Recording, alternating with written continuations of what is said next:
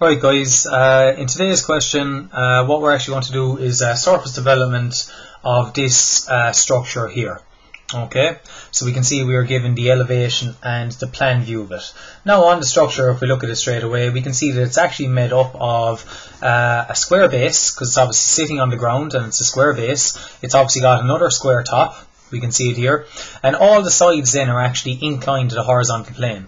So what that means is all the sides are basically at a slight angle and they're all made up of actual triangles. So there's no actual circular or cylindrical pieces in this. Uh, it's all made up of um, roughly straight pieces that are either sitting on the ground or at an angle to the, to the ground. And what we have to do, it says, for question 3, it says, the graphic on the left shows a sign mounted on a concrete base. The molds used to create the base is constructed from a single sheet metal. So this structure up here is all single sheet metal that has basically been folded together to make up the structure. And it says the plan elevation of the mold are given above. As I explained already, we got the elevation here, the plan here, and then says complete a one piece surface development of the sheet metal uh, piece and use the given point one as your starting point. Okay, so when we are doing a surface development, it is very important that we always have true lengths. Okay, so let's break down the structure. As I said, the base is square.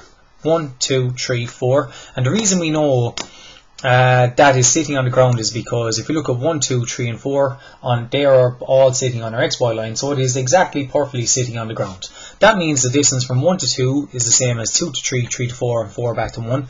They are all true lengths. Okay?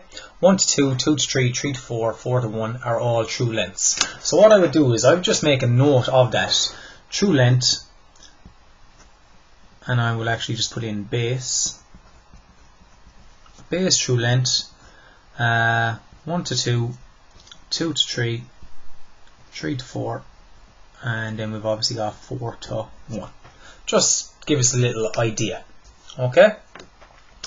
And then we also have another top true length because the reason the top ones 5 to 6, 6 to 7, 7 to 8 and 8 back to 5 are all true lengths is because they are all parallel with the horizontal plane if you look up here, the top of it is parallel with the ground. So they are all true lengths as well.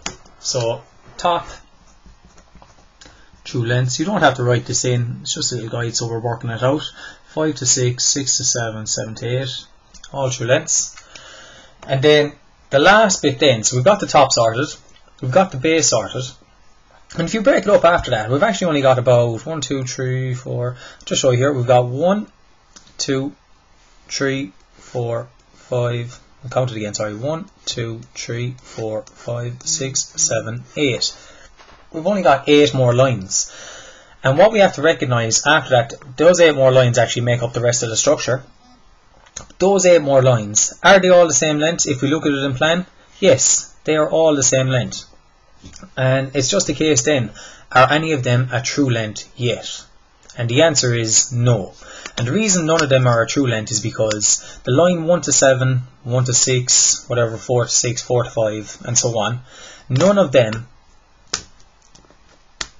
are parallel to the xy line. And it is the exact same in elevation.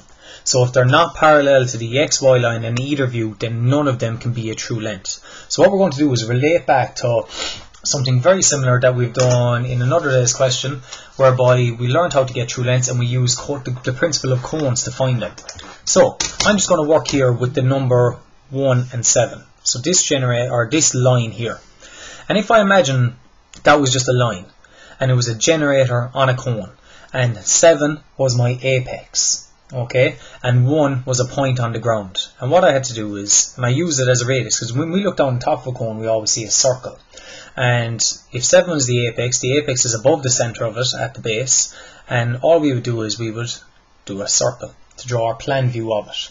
Obviously I'm not going to use that and I've explained this in another question. And what we're going to do is we are literally just going to rotate from 7 to 1 down. 7 to 1 being our radius. So, and this is all about just obtaining true lengths. So I'm going to take the distance from 7 to 1 rotate it down. And that now is my point 1 in a new position right there.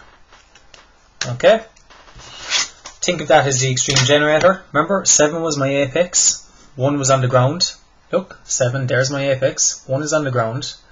And all I've done now is, that is my extreme generator of a cone, when we're looking straight at it. That one is on the ground, it's now, for, it's moved from this position here, out to this position, so from here over to here. Look, it's just travelled, so it's moved from here over to here. So that's the new position of my 1. And now what I can join is that to 7. And what I have found there is the true length of 7 to 1. Very, very important. That is the true length of it. Why is it the true length? Because look, 7 to 1, it is now parallel with the xy line. Therefore, that is a true length. Okay?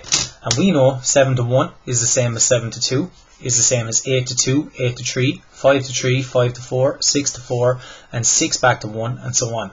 All of them are now found because I have found one of them. That means all of them are the exact same.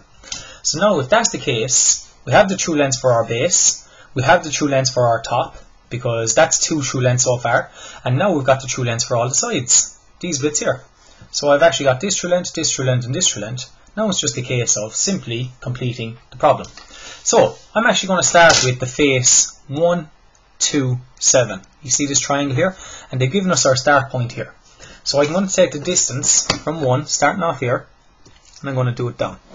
I'm going to take that, and I'm going to take the distance on my compass from 1 to 2. That distance right there, and I'm going to step it down. Very important here. Use my label. There's two. Okay, so I can heavy in that straight away because that's a definitive edge.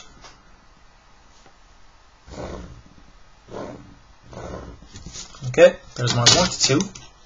Now, have I got the true length from 1 to 7? Yes, I do. It's here. So I just get that on my compass.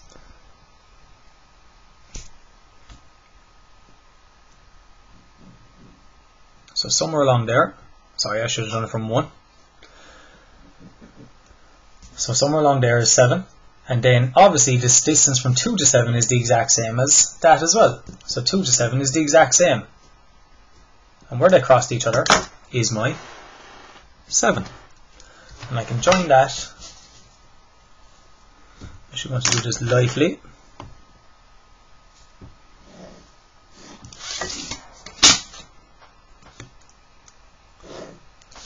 And that there is the true shape of my 172.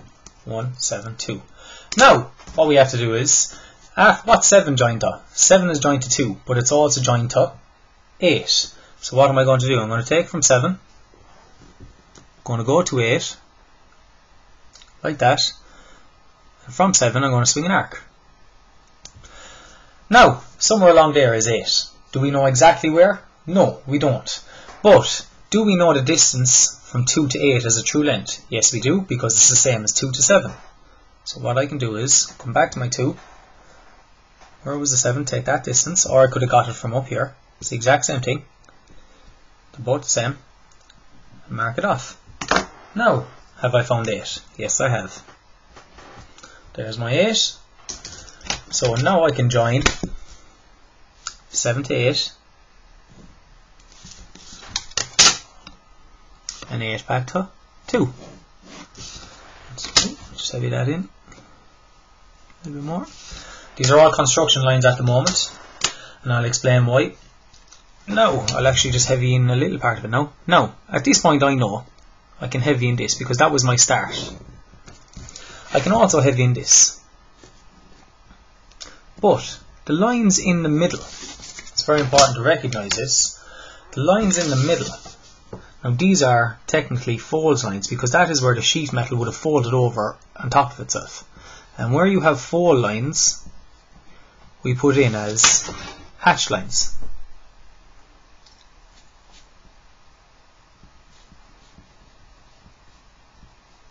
There we go. That's kind of how it would start to look like. Now, what we're going to do is we're going to continue to build it up. So I'm just going to rotate out here a little bit so you can see it a bit better. Now, I'll do one more section, then I'm going to speed it up. So, we can see so far we've done 1, 2, 7. We've done this section here. So we have. We've done that section. Okay. And now what we have to do is we also have to do, now, uh, sorry, we're on to 2, 8, 3. So, have I got the distance from 2 to 3 as a true length? Yes, I do. Just going to take it straight off the sheet because it's sitting on the ground, so that has to be a true length. So from 2, somewhere out here is 3. And then I've got 2 to 8 already. Now I have to get 8 to 3. And that's the same as my true length that was originally up here at the top. And I'm going to step that out from 8. There it is. Very simple.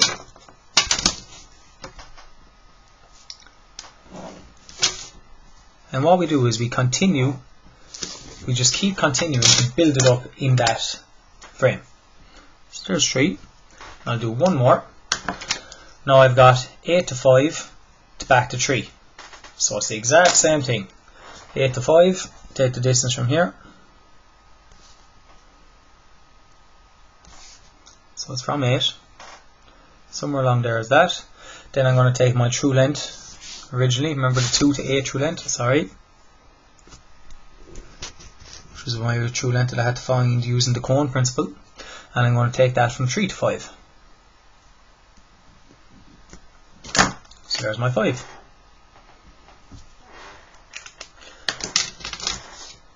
So, what we are going to do now, I'm going to speed up the video, but we're going to keep continuing until that same sequence until we get back to obviously 1 to 7, if that makes sense. Okay?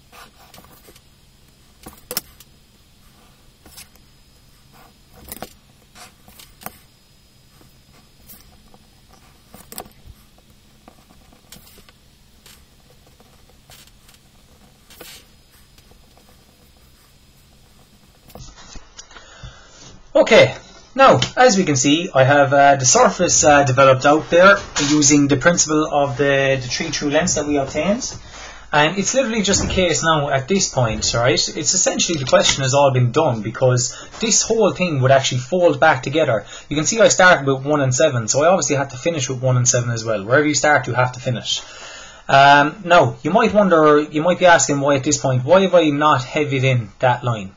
And now the truth is, just based on the DCG Solutions book, at this point here, they actually have it in that.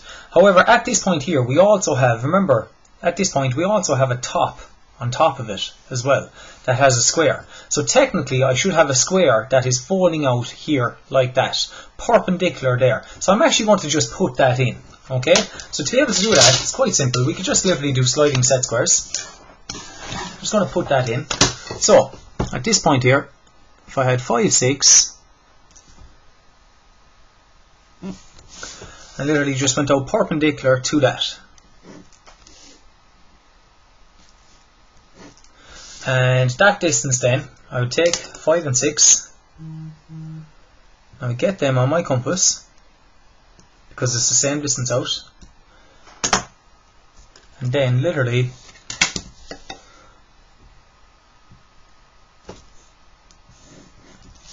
There we go.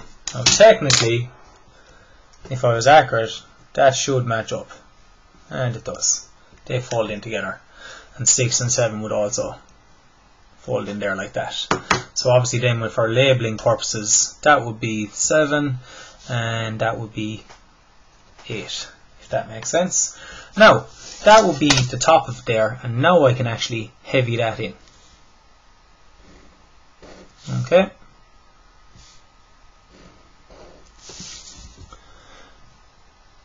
There we go. That would be the surface development done. Now that is something I think that's actually left out in the DCG Solutions uh, textbook. There's the top of it. Now, at this point, I have the question completed.